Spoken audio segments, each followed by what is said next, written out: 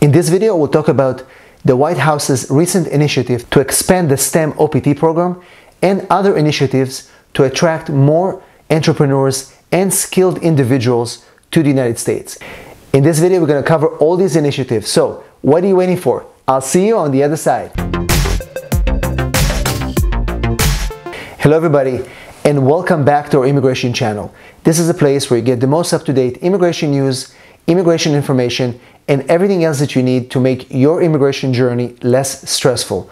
My name is Jacob Sapochnick, and I'm an immigration attorney located in San Diego, California, and I help clients in all 50 states. And in this video, we'll talk about a new initiative from the White House to expand the STEM OPT program as well as other programs to attract entrepreneurs and high achievers into the United States. The White House released a fact sheet that is linked in the description of this video. You can read the full fact sheet, but I'm going to summarize that for you in this video. So make sure you stick to the end as I'm going to break down STEM OPT, the O1 visa expansion, and the national interest waiver, how to sponsor yourself for a green card, new expanded ways. So before we do that, make sure you subscribe to our channel, click the notification bell to be notified of new videos that come up every week, and also give us a big like so YouTube will be able to recommend this video to more people just like you. So by way of summary, as you know, if you're an F1 international student and you're studying in one of the STEM degree fields, you're eligible, in addition to your one year optional practical training work permit,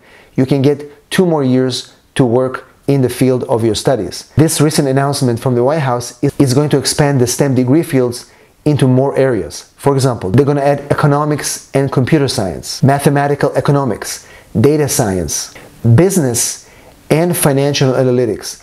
That's going to expand it to more people that are entering into fields that eventually will lead to entrepreneurship. And now they're going to be able to get two more years to work and build their ideas in the United States. Also, STEM students in the J1 exchange program are going to be eligible for STEM OPT expanded from 18 months at the moment to 36 months, which will give them more time to be able to work and build their careers in the United States. This new guidance also instructs USCIS officers to look at graduate from STEM degrees as eligible for the O1 visa, which is a category of exceptional ability, but now it's going to be expanded to STEM fields as well. And finally, the national interest waiver category, which is normally reserved for individuals of exceptional ability to sponsor themselves if they have a special skill or they're doing something that is going to be in the national interest in the United States. That category is now expanded to entrepreneurs as well. It's now official in the USCIS guidance. So it's going to open the door to more entrepreneurs to apply for the national interest waiver. So let's dive deeper into the White House announcement. Essentially what they're doing, they're expanding the STEM program and more qualified people to be able to benefit from what they are studying in the United States. It's going to allow more F1 students and J1 students to be able to stay here longer and be able to work once they graduate. So now STEM OPT students can work up to 36 months after graduation. Let's look at some of the new fields of study that were added to be part of the STEM program. Some of these fields are bioenergy, forestry, human-centered technology design, cloud computing, financial analytics, data analytics, social sciences, oceanic studies, and financial analytics, among other.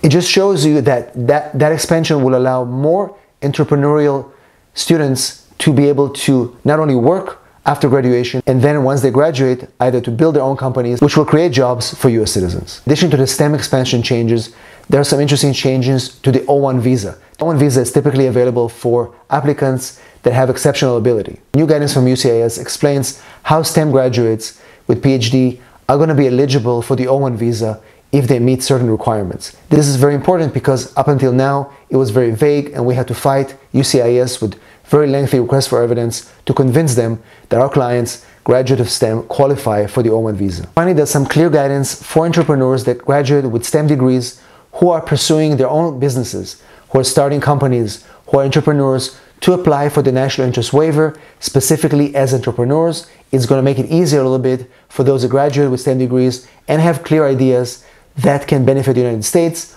to apply for the national interest waiver. So it's really exciting because it's going to give a boost to our economy and it's going to send a clear message for entrepreneurs that they are welcome in this country and they're eligible for these visas. So to summarize, this is good news. This is good news for international students. It's good news for graduates who are looking for jobs and they have more time now to work on their OPT work permits while they are looking for a new job or planning to start their companies. And finally, this is amazing news for entrepreneurs who want to apply for O1 visas and for the national interest waiver. Now it's going to be a little bit easier to apply for these visas and also to deal with UCIS explaining them why are applicants qualified.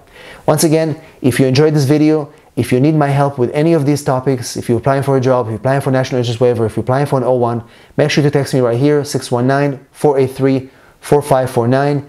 I'm here for you. Thanks for watching, and I'll see you in the next video.